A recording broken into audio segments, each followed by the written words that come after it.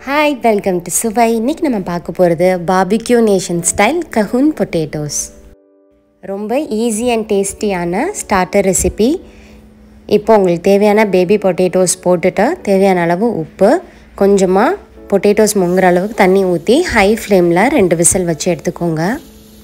ரெண்டு விசில் வந்ததுக்கப்புறமா ப்ரெஷர் நல்லா அதுவே ரிலீஸ் ஆனதுக்கப்புறமா ஓப்பன் பண்ணிவிட்டு இந்த பொட்டேட்டோஸை உடனே எடுத்து தனியாக ஒரு பவுல்லையோ இல்லை பிளேட்லேயோ ட்ரான்ஸ்ஃபர் பண்ணிடுங்க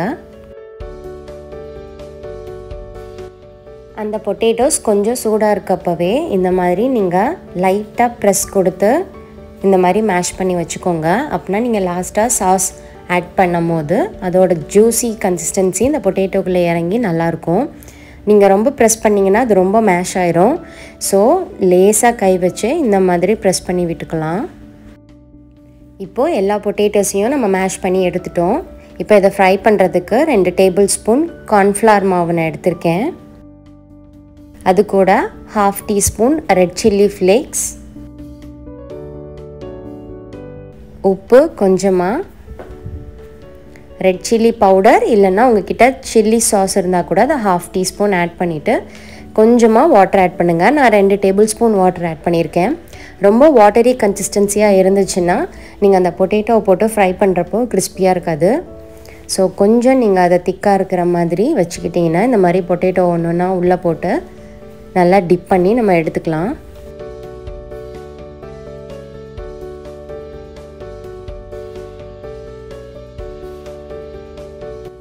இப்போது இன்னொரு கடாயில் ஆயில் ஹீட் பண்ணிக்கலாம்.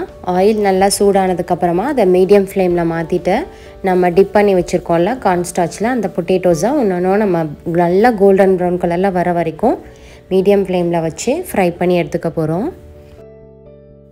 இந்த ஸ்டார்டரை நீங்கள் ஈவினிங் டைம் ஸ்நாக்ஸாவோ இல்லைனா வீட்டுக்கு யாராவது கெஸ்ட்டு வராங்கன்னா நீங்கள் டக்குன்னு இந்த ரெசிப்பியை வந்து நீங்கள் செஞ்சு வச்சிடலாம் ரொம்ப டேஸ்ட்டாகவும் இருக்கும். ப்ளஸ் ரொம்ப டைமும் எடுக்காது.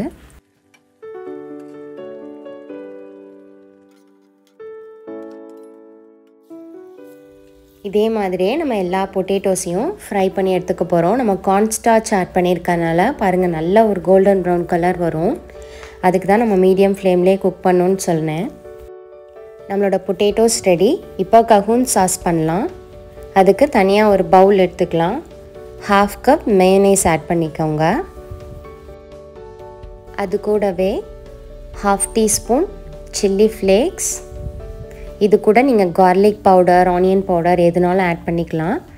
இப்போது அது கூட ஹாஃப் டீஸ்பூன் சில்லி பவுடர் கொஞ்சமாக பெப்பர் பவுடரும் சேர்த்துக்கோங்க. உங்கள் காரத்துக்கு ஏற்ற மாதிரி. ஒரு டீஸ்பூன் கெச்சப். இது டொமேட்டோ கெச்சப் தான். ஸோ இதில் ஸ்பைசஸ் அவ்வளோவா இருக்காது.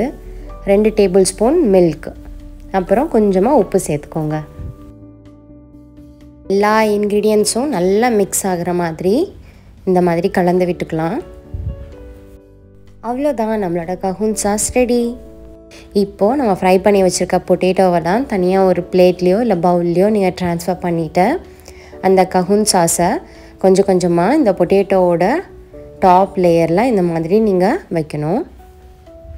ஸோ கொஞ்ச நேரம் கழித்து அப்படி லேஸாக மெல்ட் ஆகி அந்த நம்ம பொட்டேட்டோவை வந்து லைட்டாக மேஷ் பண்ணியிருக்கோம் இல்லையா? ஸோ அதுக்குள்ளே இந்த ஜூஸஸ் எல்லாம் இறங்கும்.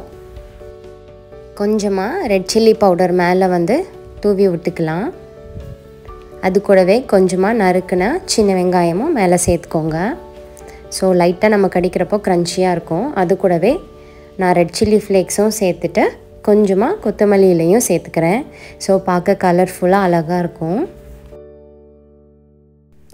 அவ்வளோதான் நம்மளோட ஸ்டார்டர் கஹூன் ரெசிபி ரெடி நீங்களும் இதை வீட்டில் கண்டிப்பாக ட்ரை பண்ணி பாருங்கள் டேஸ்ட் பண்ணிவிட்டு இந்த ரெசிபி எப்படி இருந்ததுன்னு எனக்கு கமெண்ட் செக்ஷனில் சொல்லுங்கள் இப்போ நம்ம டேஸ்ட் பண்ணி பார்க்கலாம்.